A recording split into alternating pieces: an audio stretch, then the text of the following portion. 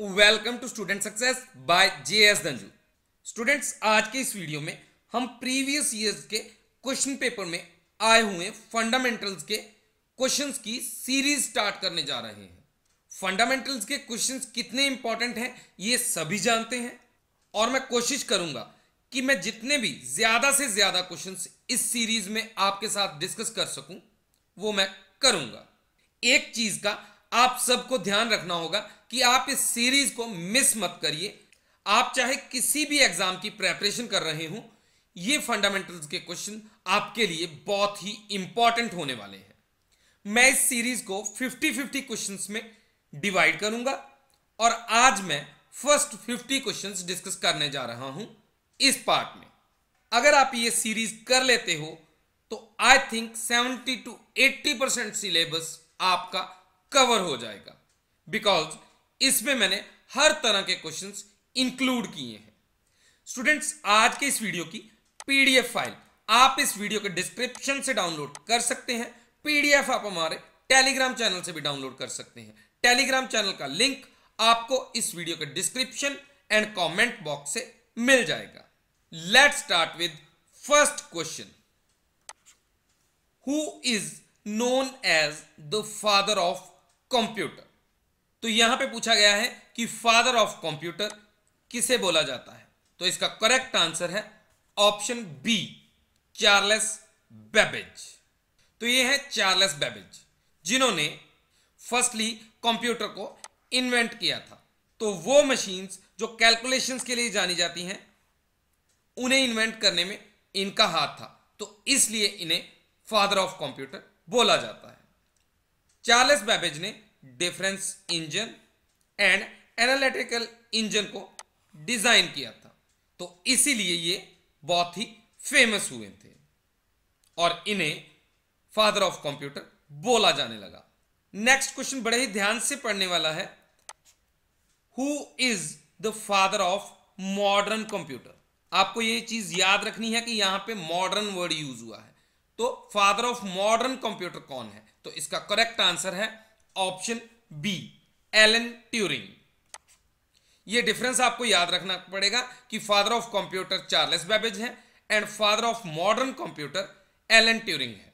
तो ये है Alan Turing father of modern computer next question the term computer is derived from ये computer word है, ये कौन सी लैंग्वेज का है? तो इसका करेक्ट आंसर है ऑप्शन ए लैटिन। तो कंप्यूटर लैटिन के कंप्यूटरे वर्ड से लिया गया है। तो इसका मीनिंग क्या है? टू कैलकुलेट या to count, to sum up, to think together. तो बेसिकली हम कंप्यूटर को कैलकुलेशन से जानते हैं। तो कंप्यूटर एक लैटिन वर्ड है या लैटिन लैंग्वेज से लिया गया वर्ड है। Next question generation of computer से लिया गया है। First generation computer used dash for circuitry and dash for memory तो इसका करेक्ट आंसर है ऑप्शन सी तो फ़र्स्ट जनरेशन कंप्यूटर्स में वैक्यूम ट्यूब्स यूज़ होती थी एंड मैग्नेटिक ड्रम यूज़ होता था। तो ये है वैक्यूम ट्यूब्स जो कि ट्यूब्स की तरह होती थी और ये है मैग्नेटिक ड्रम तो ये दो कंपोनेंट्स थे जो मेनली यूज़ होते थे फ़र्स्ट जनरेशन कंप्यूटर्स में। अच्छा टोटल फाइव जनरेशन हुई हैं अभी तक कंप्यूटर्स में। और इन फाइव जनरेशन के बारे में आपको पता होना चाहिए। तो फ़र्स्ट जनरेशन में vacuum tubes and valves use हुई थी। सेकंड में ट्रांजिस्टर्स यूज़ हुए थे। थर्ड में आईसी जिन्हें हम इंटीग्रेटेड सर्किट भी बोलते हैं। तो इंटीग्रेटेड सर्किट्स आए थे थर्ड जनरेशन में। और S S I and M S I technology, आई थी एस एस आई की फुल फॉर्म होती है small scale integration M S I की फुल फॉर्म होती है मीडियम स्केल इंटीग्रेशन। उसके बाद आईसीज इंक्रीज होते गए और टेक्नोलॉजी भी इंप्रूव होती गई और फोर्थ जनरेशन में एल एस आई आ गए और V L S I LSI की फुल फॉर्म है लार्ज स्केल इंटीग्रेशन इसमें इंटीग्रेटेड सर्किट्स का नंबर इंक्रीज हो गया। उसके बाद आई वी एल एस आई उसमें और ज़्यादा इंटीग्रेटेड सर्किट्स यूज़ होने शुरू हुए। तो वीएलएसआई की फुल फॉर्म है वेरी लार्ज स्केल इंटीग्रेशन उसके बाद आई फिफ्थ जनरेशन फिफ्थ जनरेशन में यूएलएसआई यूज़ हुई। तो यूएलएसआई टेक्नोलॉजी की फुल फॉर्म है अल्ट्रा लार्ज स्केल इंटीग्रेशन इसमें नंबर ऑफ़ इंटीग्रेटेड सर्किट्स और ज़्यादा इंक्रीज हो गया।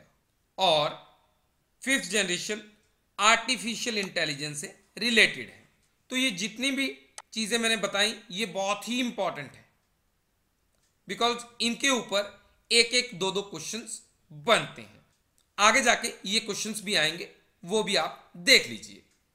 तो ये देखिए नेक्स्ट क्वेश्चन है second generation computers were based on तो अभी अभी मैं बता चुका हूँ, इसका करेक्ट आंसर है ऑप्शन बी ट्रांजिस्टर अच्छा ट्रांजिस्टर्स कुछ इस तरह के नज़र आते थे, जो कि वैक्यूम ट्यूब्स के कंपैरेटिवली पावर लेस लेते थे चीपर भी थे और फास्टर भी थे as comparative to first generation machines made of vacuum tubes तो ये चीज़ अगर आपको पता है तो सेकंड जनरेशन में ऑटोमेटिकली आप इस पे ही टिक करोगे। नेक्स्ट क्वेश्चन है फ्लॉप्स स्टैंड फॉर तो इसका करेक्ट आंसर है option A, floating point operation per second. अच्छा ये फ्लॉप्स क्या है? फ्लॉप्स एक यूनिट ऑफ़ मेज़रमेंट है that calculates the performance capability of super computer means super computer की परफॉर्मेंस को मेजर करने के लिए फ्लॉप्स को एज ए यूनिट यूज़ किया जाता है। Next question which language was use to program second generation computers तो सेकेंड जनरेशन कंप्यूटर्स में कौन सी लैंग्वेज यूज़ होती थी? तो इसका करेक्ट आंसर है ऑप्शन सी असेंबली लैंग्वेज और सेकेंड जनरेशन में लेटर्स ऑफ़ अल्फ़ाबेट तो निमोनिक कोड्स होते थे जो एक्चुअल में यूज़ होते थे। जैसे यहाँ पे लिखा है मूव एड सब तो ये सब यूज़ होते थे असेंबली लैंग्वेज तो जीरोज एंड वंस को याद करना थोड़ा टफ है, जो कि मशीन लैंग्वेज या बाइनरी लैंग्वेज में होते थे। लेकिन अल्फ़ाबेट्स को याद करना सिंपल है तो ये असेंबली लैंग्वेज में यूज़ होते थे। तो असेंबली लैंग्वेज में निमोनिक्स यूज़ होते थे। Next question EDSAC stand for तो इसका करेक्ट आंसर है option A electronic delay storage automatic computer तो एडसैक की फुल फॉर्म तो आपको पता होनी ही चाहिए। अच्छा कई बार कंप्यूटर की जगह पे कैलकुलेटर भी लिखा होता है तो ये दोनों ही ठीक है। लेकिन ऑप्शंस में कभी भी ऐसा नहीं होगा कि कंप्यूटर या कैलकुलेटर अलग अलग दिया हो। या तो वहाँ पे कंप्यूटर होगा या कैलकुलेटर होगा तो आपको सिर्फ़ एक ही ऑप्शन पे टिक करना होगा। अच्छा एडसैक को इन्वेंट किसने किया था? मॉरिस विल्कीज ने इन्वेंट किया था एडसैक कंप्यूटर को। तो इस पर्सन का नेम भी आपको याद होना चाहिए। नेक्स्ट क्वेश्चन है instructions and data can be stored in the memory of computer for automatically directing the flow of operations it is called dash concept तो मेमोरी में instructions and data automatically store होता है। और इस concept को क्या बोला जाता है? तो इसका करेक्ट आंसर है option A stored program concept तो ये यहाँ पे सेम ही चीज़ लिखी है कि इंस्ट्रक्शंस एंड डाटा को स्टोर करना हो टुगेदर मेमोरी में तो बाइनरी फॉर्म में तो उसे स्टोर प्रोग्राम कॉन्सेप्ट का नाम दिया गया। और इस कॉन्सेप्ट की डेवलपमेंट किस पर्सन ने की? तो उस पर्सन का नाम है जॉन वॉन नियोमैन ये देखिए, ये सेम ही क्वेश्चन यहाँ पे है। Stored program concept was developed by तो इसका करेक्ट आंसर है ऑप्शन बी वॉन नियोमैन ये देखिए, जैसे सीपीयू में जो कैलकुलेशंस हो रही हैं, वो सारी control unit and arithmetic unit की हेल्प से जो कुछ भी हो रहा है, उसे कहीं ना कहीं स्टोर तो किया जाएगा तो वो मेमोरी यूनिट में किया जाता है। तो ये कॉन्सेप्ट को क्या नेम दिया गया? स्टोर प्रोग्राम कॉन्सेप्ट उसके बाद वही डाटा जो है, वो output device and auxiliary storage या हार्ड डिस्क में स्टोर किया जाता है। After processing next question third generation computers were based on तो थर्ड जनरेशन कंप्यूटर्स कौन से कंपोनेंट पे बेस्ड है? तो इसका करेक्ट आंसर है option C IC third generation में आईसीज यूज़ हुए, यानी कि इंटीग्रेटेड सर्किट्स और किस चीज़ को रिप्लेस किया था? ट्रांजिस्टर्स को। ट्रांजिस्टर्स सेकंड जनरेशन में यूज़ होते थे। तो सिंगल आईसी में बहुत सारे ट्रांजिस्टर्स रेजिस्टर्स एंड कैपेसिटर्स होते थे अलोंग विद एसोसिएटेड सर्किटरी तो कुछ इस तरह का नज़र आता है आईसी अच्छा first second third fourth and fifth के ईयर्स आपको ज़रूर याद रखने हैं। जैसे थर्ड जनरेशन 1965 से 1971 तक हुई थी। तो ऐसे ही बाकी ईयर्स भी आप याद कर लीजिए। इनसे रिलेटेड भी क्वेश्चन कई बार एग्ज़ाम में पूछ लिए जाते हैं। तो अगर आपने ये पाँचों जनरेशन यहाँ से अच्छे से पढ़ ली तो आपको आई थिंक फाइव से सिक्स क्वेश्चन जो हैं, वो क्लियर हो जाएँगे। और आप आराम से उनका आंसर दे पाओगे। तो अभी थर्ड जनरेशन की बात हुई आईसी से रिलेटेड तो आईसी थर्ड जनरेशन में आए और उसी टाइम पे एसएसआई एंड एमएसआई टेक्नोलॉजी भी आई।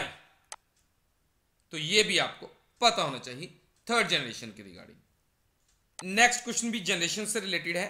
यूएलएसआई स्टैंड फॉर तो यूएलएसआई की फुल फॉर्म है। इसका करेक्ट आंसर है option A ultra large scale integration तो अभी मैंने बताया कि ultra large scale integration fifth generation में आई थी। और इसी के साथ साथ आर्टिफिशियल इंटेलिजेंस का भी आपको पता होना चाहिए, जो कि फिफ्थ जनरेशन से एसोसिएटेड है।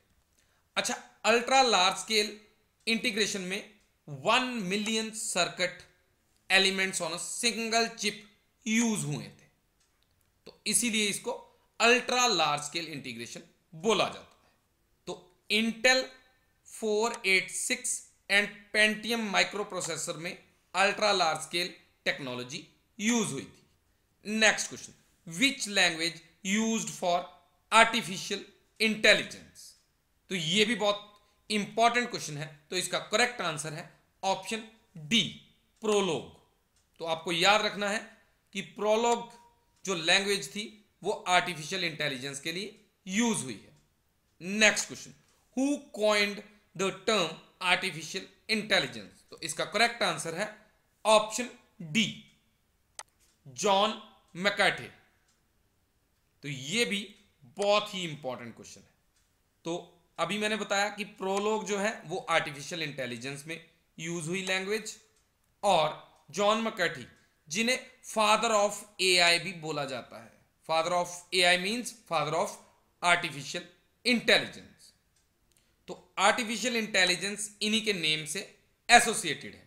अच्छा यहाँ पे ये तीन नेम्स आपको पता है। मैं फिर से रिपीट कर देता हूँ। चार्लेस बेबेज को फादर ऑफ़ कंप्यूटर बोला जाता है। वॉन न्यूमैन जो है, इन्होंने स्टोर्ड प्रोग्राम कॉन्सेप्ट इन्वेंट किया और एलन ट्यूरिंग जो है, उन्हें फादर ऑफ़ मॉडर्न कंप्यूटर बोला जाता है। तो इस तरह से आपको अगर चारों ऑप्शंस के बारे में पता होगा तो आंसर देना आसान हो जाएगा। Next question the chip use in computer is made up of तो इसका करेक्ट आंसर है ऑप्शन ए सिलिकॉन तो कंप्यूटर में यूज़ होने वाली माइक्रोचिप जिसे हम चिप भी बोलते हैं सिंपली या कंप्यूटर चिप भी बोल देते हैं, या फिर आईसी और इंटीग्रेटेड सर्किट भी बोलते हैं। तो उस चिप में कौन सा मटेरियल यूज़ होता है? तो सिलिकॉन मटेरियल यूज़ होता है उस चिप में। सिलिकॉन एक सेमीकंडक्टर मटेरियल है, जो कि चिप को बनाने के लिए यूज़ होता है। तो इस स्मॉल चिप पे set of electronic circuits use होते हैं। Next question, fourth generation computer was based on तो फोर्थ जनरेशन कंप्यूटर किस पे बेस्ड थे?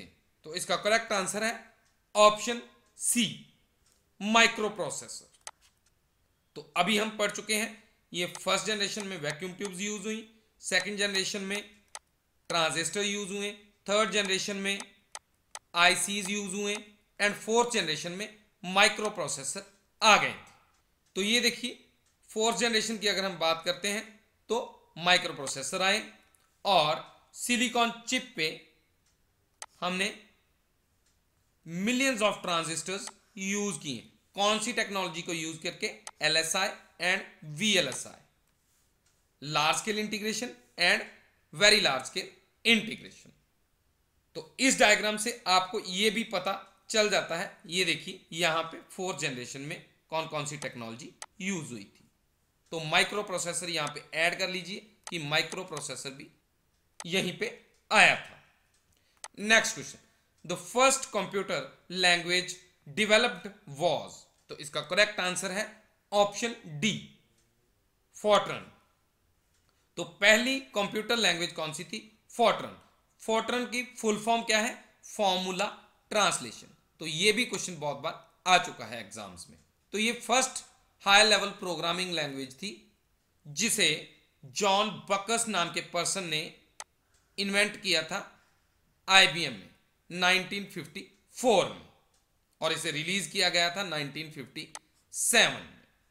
तो फोर्ट्रन को आजकल भी यूज़ किया जाता है साइंटिफिक एंड मैथमेटिकल एप्लीकेशंस में। तो कई बार क्वेश्चन ऐसे भी आता है कि साइंटिफिक एंड मैथमेटिकल कैलकुलेशंस के लिए कौन सी लैंग्वेज यूज़ हो रही है और ऑप्शंस में से आपको चूज़ करना होगा Fortran next question which was the first computer spreadsheet program तो सबसे पहला कंप्यूटर स्प्रेडशीट प्रोग्राम कौन सा था?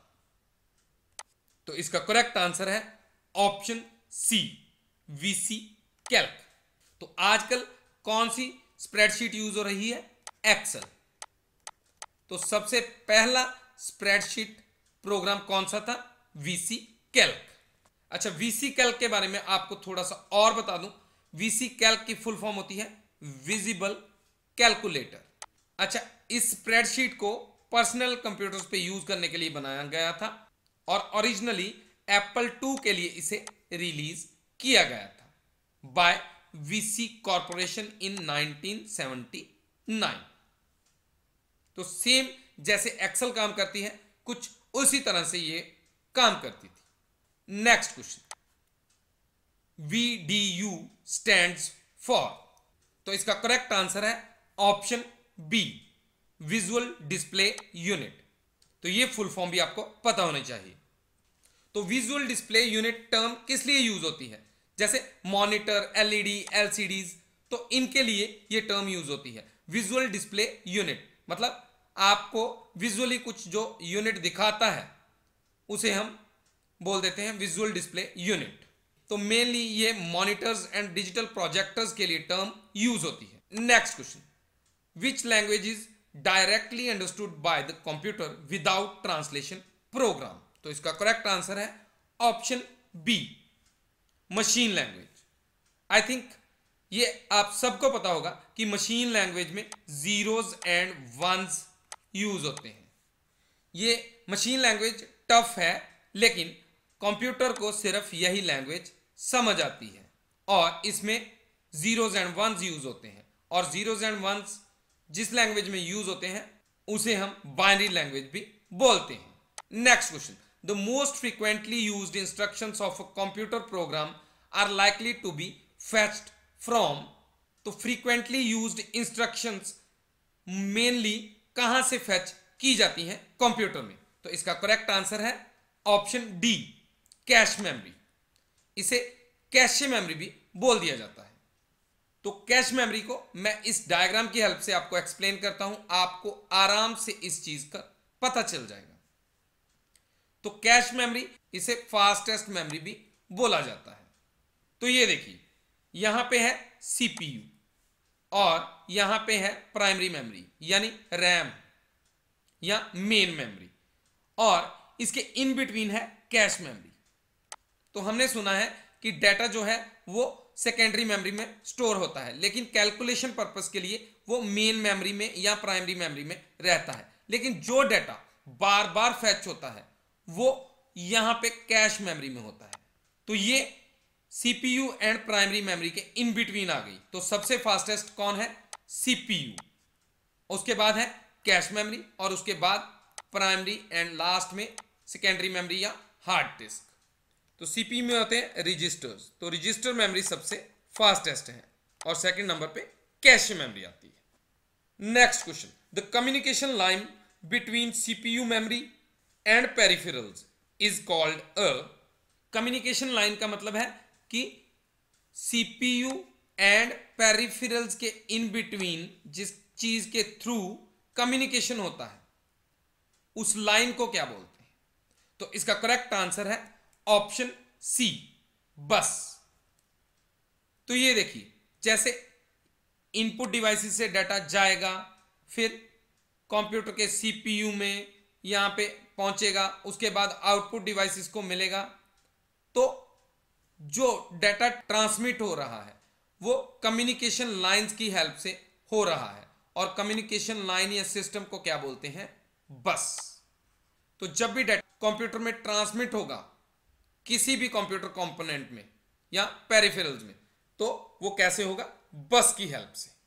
तो बस क्या है? एक कम्युनिकेशन लाइन डाटा ट्रांसमिट करने का एक माध्यम। Next question R I S C stand for तो इसका करेक्ट आंसर है option D reduced instruction set computer वो माइक्रो प्रोसेसर जिसकी हेल्प से हम smaller number of computer instructions को हाई स्पीड पे ऑपरेट करते हैं तो उसे क्या बोलते हैं? RISC processor R I S C next question. Dash is register for short term intermediate storage of arithmetic and logic data in a computer CPU. तो इसका करेक्ट आंसर है ऑप्शन सी अकोमुलेटर अच्छा अकोमुलेटर के बारे में आपको mainly एक चीज़ पता होनी चाहिए कि जो भी इंटरमीडिएट रिजल्ट्स होते हैं मींस अभी कैलकुलेशंस हो रही हैं और इन बिटवीन जहाँ पे रिज़ल्ट स्टोर होता है तो वो कहाँ पे होता है? अकमुलेटर में। It is similar to general purpose register तो ये क्या करता है? ये डाटा एंड रिजल्ट्स को सेव करके रखता है during processing cycles next question dash is group of commands for a CPU in a machine language तो इसका करेक्ट आंसर है ऑप्शन सी इंस्ट्रक्शन सेट तो इंस्ट्रक्शन सेट क्या होता है? Group of commands for CPU in machine language तो आप इतना याद रखिए कि ग्रुप ऑफ़ कमांड्स को इंस्ट्रक्शन सेट बोला जाता है। तो इंस्ट्रक्शंस को ग्रुप में क्यों रखा जाता है? परफॉर्मेंस को इंप्रूव करने के लिए। Next question which register keeps track of the instructions in the stored program in memory.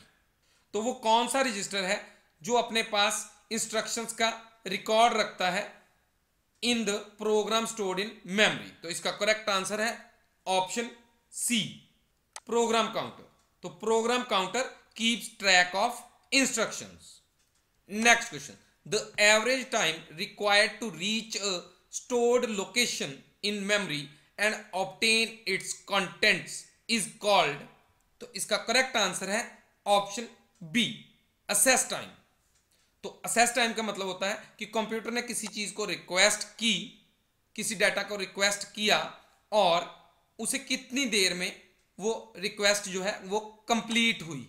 तो उस टाइम को हम बोलते हैं असेस टाइम जैसे एग्जांपल लेते हैं कि पिज़्ज़ा शॉप से हमने पिज़्ज़ा ऑर्डर किया और वो कितनी देर में हमें डिलीवर हुआ। तो ये एक असेस टाइम की एग्ज़ाम्पल हुई। तो कंप्यूटर का असेस टाइम नैनो सेकेंड्स या फिर मिली सेकेंड्स में कैलकुलेट होता है। तो जितना कंप्यूटर का असेस टाइम कम होगा, उतनी ही ज़्यादा परफॉर्मेंस उस कंप्यूटर की होगी। अच्छा इसी के साथ साथ और भी कुछ टर्म्स हैं जो आपको पता होनी चाहिए। जैसे है लेटेंसी टाइम कि किसी डाटा को कितनी देर डिले हुआ, उसे बोलते हैं हम लेटेंसी टाइम तो कोई डाटा हमने सेंड किया, उसे कितनी देर लगी, कितना डिले हुआ पहुँचने में, उसे हम बोलते हैं लेटेंसी टाइम अच्छा उसके बाद है टर्न अराउंड टाइम तो ये भी आपको पता होनी चाहिए। Turn around time T A T तो टर्न अराउंड टाइम है, जैसे हमने कोई प्रोसेस सबमिट किया और उसे कितनी देर लगी कंप्लीट होने में तो उसे बोलते हैं टर्न अराउंड टाइम मींस कि कितना टाइम वो प्रोसेस मेमोरी में रहा वेट करता हुआ, उसके बाद रेडी क्यू में गया, फिर एग्जीक्यूशन हुई सीपीयू के द्वारा, और उसके बाद इनपुट आउटपुट के थ्रू एग्जीक्यूशन हुई। तो ये सारे टाइम को हम टर्न अराउंड टाइम बोलते हैं। उसके बाद है रिस्पॉन्स टाइम तो ये आई थिंक सबको अंडरस्टूड होगा कि total amount of time it takes to respond to a request for a service कोई रिक्वेस्ट की गई और उसको कितनी देर में रिस्पॉन्ड किया गया, उसे हम बोलते हैं रिस्पॉन्स टाइम। तो ये सारी टर्म्स के बारे में आपको थोड़ा थोड़ा पता होना चाहिए, क्योंकि इनके रिलेटेड क्वेश्चन बनते हैं। Next question the pattern of printed lines on most products are called तो इसका करेक्ट आंसर है ऑप्शन ए बारकोड्स तो जब भी आप कोई प्रोडक्ट मॉल से खरीदते हो तो कुछ इस तरह की लाइंस आपके प्रोडक्ट पे होती हैं, जिसे बारकोड स्कैनर के थ्रू स्कैन किया जाता है। तो इन पैटर्न ऑफ़ लाइंस को हम क्या बोलते हैं? बारकोड्स तो बारकोड स्कैनर क्या करता है? प्रिंटेड लाइन को स्कैन करता है और उसमें जो भी इंफॉर्मेशन होती है, उसे कंप्यूटर पे सेंड करता है। जैसे उसकी price product name company name etcetera next question M I C R stand for तो इसका करेक्ट आंसर है option D magnetic ink character recognition तो एमआईसीआर को समझने के लिए इस कोड को आप ध्यान से देखिए, जो चेक पे मेंशन होता है। तो ये मैग्नेटिक इंक से लिखा हुआ कोड होता है और MICR की फुल फॉर्म होती है मैग्नेटिक इंक करेक्टर रिकग्निशन तो एमआईसीआर कोड को स्कैन करने के लिए हम एम स्कैनर यूज़ करते हैं। तो M I C R is a device that can recognize human readable characters printed on documents such as cheques using a special magnetic ink next question which unit is use to measure the speed of a printer तो इसका correct answer है option C pages per minute यानी PPM तो ये है एक printer एक printer कितनी स्पीड से पेजेस को प्रिंट करता है? मतलब एक मिनट में एक प्रिंटर कितने पेजेस प्रिंट करता है? तो उसे बोलते हैं पेजेस पर मिनट जितने ज़्यादा पेजेस एक प्रिंटर एक मिनट में प्रिंट करेगा उतनी ही ज़्यादा स्पीड उसकी होगी. तो आजकल प्रिंटर्स की स्पीड बहुत ज़्यादा है. 25, 50, 90 जितनी अच्छी क्वालिटी का प्रिंटर होगा, उसके अकॉर्डिंग उसकी स्पीड होगी। अच्छा पीपीएम के साथ साथ कुछ और भी टर्म्स है जो आपको पता होनी चाहिए। पीपीआई तो पीपीआई की फुल फॉर्म होती है पिक्सल पर इंच ये मॉनिटर में जो इमेजेस आपको नज़र आती हैं, वो पिक्सल से बनी होती हैं। तो जितने ज़्यादा पिक्सल्स उस पिक्चर या वीडियो के होंगे, उतनी ही अच्छी क्वालिटी उस वीडियो या पिक्चर की होगी। सिमिलरली एक टर्म आती है डीपीआई डॉट्स पर इंच अगर आप किसी भी प्रिंट की क्वालिटी देखना चाहते हो तो डॉट्स पर इंच जितनी ज़्यादा होंगी, उतनी ही ज़्यादा क्वालिटी उस प्रिंट की होगी। तो डीपीआई की फुल फॉर्म भी आपको पता होनी चाहिए डॉट्स पर इंच तो ये देखिए, ये सेम चीज़ यहाँ पे मेंशनड है। आप एक बार इसे रीड ज़रूर कर लीजिए। Next question joystick is primarily used for तो जॉयस्टिक को किस लिए यूज़ किया जाता है? तो इसका करेक्ट आंसर है ऑप्शन सी कंप्यूटर गेमिंग तो ये देखिए जॉयस्टिक कुछ इस तरह की नज़र आती है, जैसे कार में गियर्स होते हैं, या फिर कुछ इस तरह की। तो ये जॉयस्टिक मेनली वीडियो गेम्स में गेमिंग पर्पस के लिए यूज़ होती हैं। तो इसके कंट्रोल्स के लिए कुछ पुश बटन्स भी अवेलेबल होते हैं इसके ऊपर। अच्छा जॉयस्टिक के बारे में आपको यह भी पता होनी चाहिए कि जॉयस्टिक किसने इन्वेंट की थी। तो सीबी मिरिक नेम के पर्सन ने इसे इन्वेंट किया था और इसे पेटेंट किया गया था 1926 में। और एनआरएल यानी यूएस नेवल रिसर्च लेबोरेटरी में इसे इन्वेंट किया गया था। Next question a parallel port is often used by तो इसका करेक्ट आंसर है ऑप्शन बी प्रिंटर। तो पैरेलल पोर्ट्स कहाँ पे यूज़ होती हैं? मेनली प्रिंटर्स में। तो पैरेलल पोर्ट्स कुछ इस तरह की नज़र होती हैं, जो कि पेरिफेरल डिवाइसेस को कनेक्ट करने के लिए कंप्यूटर के साथ यूज़ होती हैं। Peripheral devices like printer next question external devices such as keyboards printers and modem are known as तो इसका करेक्ट आंसर है ऑप्शन सी पेरिफेरल्स वो डिवाइसेस जो कि कंप्यूटर के साथ एक्सटर्नली कनेक्टेड होते हैं, उन्हें हम क्या बोलते हैं?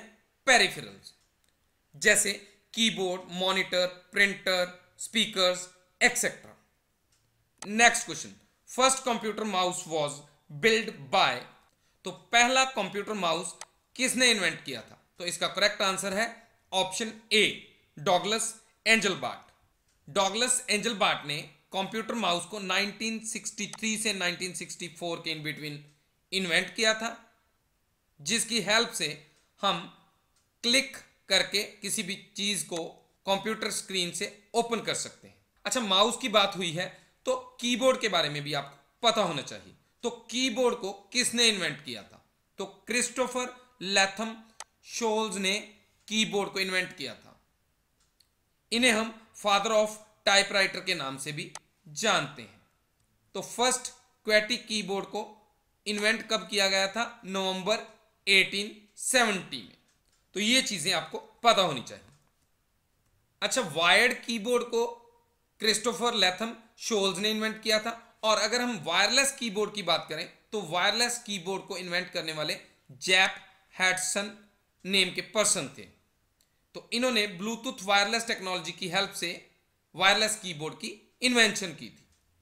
तो ये नेम भी आपको पता होना चाहिए। Next question the display size of monitor is measured in तो इसका करेक्ट आंसर है ऑप्शन सी डायगनली तो ये देखिए, जैसे आप मॉनिटर की बात करो तो मॉनिटर में जब हम साइज़ मेजर करते हैं तो डायगनली करते हैं, यहाँ से लेके यहाँ तक। स्क्रीन के एक कॉर्नर से दूसरे कॉर्नर तक।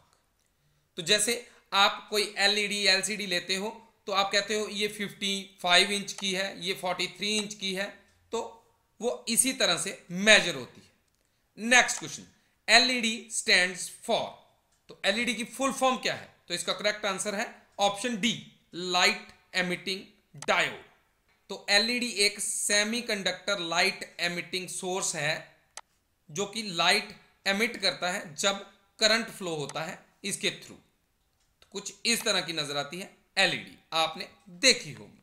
Next question printer resolution is usually measured in तो प्रिंटर की रेजोल्यूशन को कैसे मेजर किया जाता है? तो इसका करेक्ट आंसर है option D dots per inch तो अभी अभी मैं बता चुका हूँ आपको कि जब आप प्रिंटर की क्वालिटी को देखते हो तो आपको डीपीआई का ध्यान रखना होता है। डीपीआई की फुल फॉर्म होती है डॉट्स पर इंच तो डॉट्स पर इंच जितने ज़्यादा होंगे, उतनी क्वालिटी प्रिंटर की अच्छी होगी, उतनी रेजोल्यूशन उसकी अच्छी होगी। और पीपीआई के बारे में भी मैंने बताया कि स्क्रीन में इमेजेस या वीडियो की क्वालिटी तब अच्छी होती है जब पिक्सल पर इंच ज़्यादा होते हैं। पीपीआई की full form pixel per inch next question dash is an input device that converts analog information into digital form तो इसका करेक्ट आंसर है ऑप्शन डी डिजिटाइजर तो कुछ इस तरह का नज़र आता है डिजिटाइजर जो कि एनालॉग इंफॉर्मेशन को डिजिटल इंफॉर्मेशन में कन्वर्ट करता है।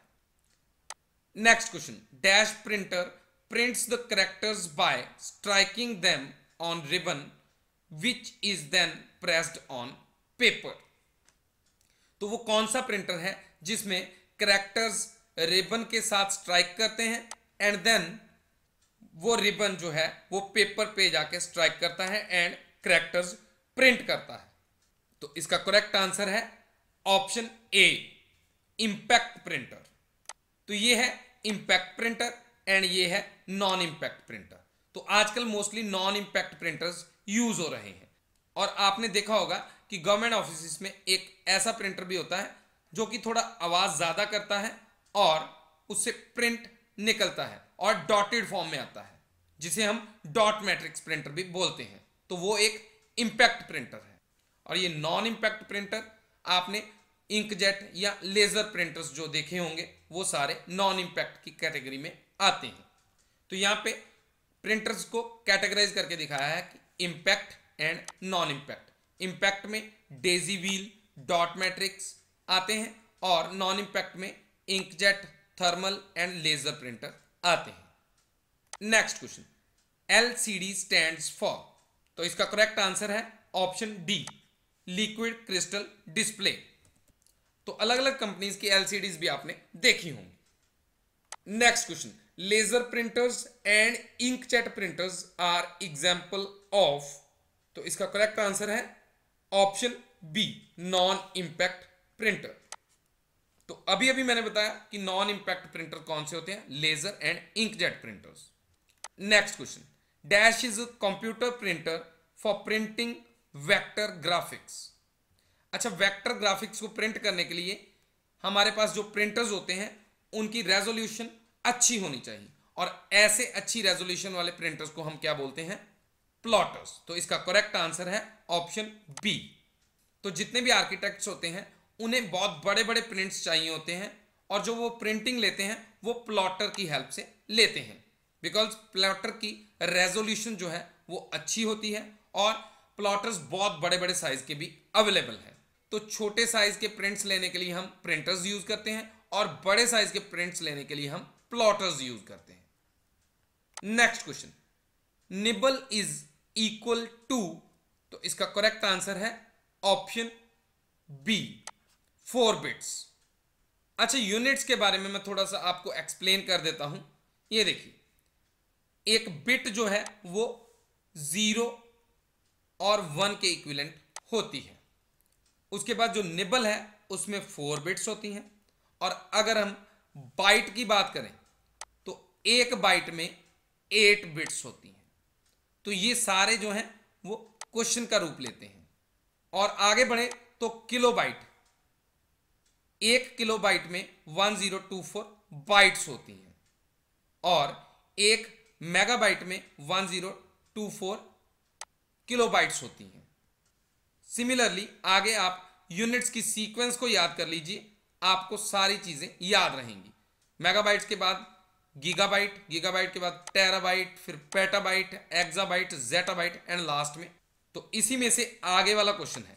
The term gigabyte equals to तो गीगाबाइट से छोटा यूनिट कौन सा है? ऑप्शन सी 1024 मेगाबाइट तो गीगाबाइट से छोटे वाला यूनिट है मेगाबाइट तो ये देखिए, यहाँ पे आ गया 1024 मेगाबाइट अगर आपको सीक्वेंस पता है तो आप इसका आंसर निकाल सकते हो। तो मोस्टली जो क्वेश्चन आते हैं वो टेराबाइट तक ही आते हैं। तो कम से कम आप यहाँ तक सीक्वेंस को याद ज़रूर कर लीजिए।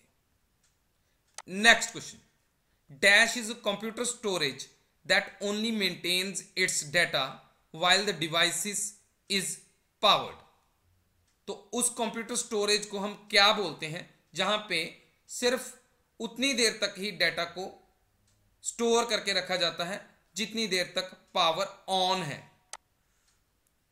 तो इसका करेक्ट आंसर है ऑप्शन ए वॉलेटाइल मेमोरी तो ये है एक रैम तो रैम एक वॉलेटाइल मेमोरी है। जितनी देर तक पावर ऑन रहेगी डेटा रैम में रहेगा आफ्टर दैट जब पावर ऑफ़ हो जाएगी कंप्यूटर बंद हो जाएगा तो डेटा जो है, वो रैम से लॉस्ट हो जाएगा। तो रैम को हम वॉलेटाइल मेमोरी बोलते हैं। तो ये देखिए, यहाँ पे लिखा है कि जितनी देर तक इलेक्ट्रिसिटी प्रेजेंट है या फिर पावर ऑन है कंप्यूटर उतनी देर तक वॉलेटाइल मेमोरी में डेटा स्टोर रहेगा। तो वॉलेटाइल मेमोरी कौन सी होती है? रैम रैम की फुल फॉर्म होती है रैंडम एक्सेस मेमोरी तो मोस्टली पर्सनल कंप्यूटर्स में वॉलेटाइल मेमोरी कौन सी यूज़ होती है? RAM next question dash is the process of dividing the disk into tracks and sectors तो इसका करेक्ट आंसर है ऑप्शन बी फॉर्मेटिंग अच्छा फॉर्मेटिंग एक ऐसा प्रोसेस है जिसमें डिस्क को ट्रैक्स एंड सेक्टर्स में डिवाइड किया जाता है। जब हम विंडोज़ इंस्टॉल करते हैं तो तब हम फॉर्मेटिंग का प्रोसेस परफॉर्म करते हैं। बिकॉज़ हमें डिस्क को ट्रैक्स एंड सेक्टर्स में डिवाइड करना होता है और आफ्टर दैट विंडोज़ इंस्टॉल करनी होती है। Next question abacus was invented in तो इसका करेक्ट आंसर है ऑप्शन सी चाइना अच्छा एबेकस का आपको पता होना चाहिए कि एबेकस है क्या चीज़। तो एबेकस इंजिन टाइम पे कैलकुलेशन पर्पस के लिए काउंटिंग के लिए यूज़ होता था। तो ये वर्ल्ड का फ़र्स्ट कैलकुलेटर माना जाता है, जिसके थ्रू कैलकुलेशन परफॉर्म होती थी। तो ये कुछ इस तरह का नज़र आता था। अच्छा एबेकस को इन्वेंट किसने किया था? यह भी आपको पता होना चाहिए। तो टिम क्रैनमर ने एबेकस को इन्वेंट किया था। तो क्रैनमर के बारे में आपको मैं बता दूँ कि क्रैनमर एक ब्लाइंड पर्सन था, जिसने एबेकस को कैलकुलेशन के पर्पस के लिए इन्वेंट किया था। तो ब्लाइंड पर्सन जो होते हैं, वो अभी तक एबेकस की हेल्प से कैलकुलेशंस को परफॉर्म करते हैं। तो टिम क्रैनमर का नाम आपको पता होना चाहिए, जिसने एबेकस को इन्वेंट किया था। Next question Mark one was invented by तो मार्क वन कंप्यूटर को किसने इन्वेंट किया था? तो इसका करेक्ट आंसर है option B John W Mauchly अच्छा मार्क वन कंप्यूटर को ए एस सी सी के नाम से भी जाना जाता है, जिसकी फुल फॉर्म है ऑटोमेटिक सीक्वेंस कंट्रोल्ड कैलकुलेटर तो मार्क वन को ऑटोमेटिक सीक्वेंस कंट्रोल्ड कैलकुलेटर भी बोला जाता है। तो ये एक इलेक्ट्रोमैकेनिकल कंप्यूटर है, जिसे वर्ल्ड वॉर सेकेंड में लास्ट में यूज़ किया गया था। Next question who is the father of computer architecture computer architecture के फादर का नाम क्या है? तो इसका करेक्ट आंसर है ऑप्शन बी वॉन न्यूमैन तो वॉन न्यूमैन एक आर्किटेक्चर का नाम है। तो computer architecture von Neumann architecture के नाम से भी जाना जाता है, जिसे प्रिंसटन आर्किटेक्चर भी बोला जाता है। तो वॉन न्यूमैन का फुल नेम था John von Neumann next question UNIVAC is तो यूनिवैक की फुल फॉर्म क्या है? तो इसका करेक्ट आंसर है option A universal automatic computer तो यूनिवैक क्या है? एक फ़र्स्ट जनरेशन कंप्यूटर तो फ़र्स्ट जनरेशन कंप्यूटर्स में वैक्यूम ट्यूब्स को यूज़ किया गया था। तो thousands of vacuum tubes were used in UNIVAC computer तो इसमें पंच कार्ड्स एंड स्विचेस को यूज़ किया गया था इनपुट एंड आउटपुट पर्पस के लिए। तो ये कंप्यूटर्स बहुत बड़े होते थे और पूरे पूरे रूम्स में आते थे।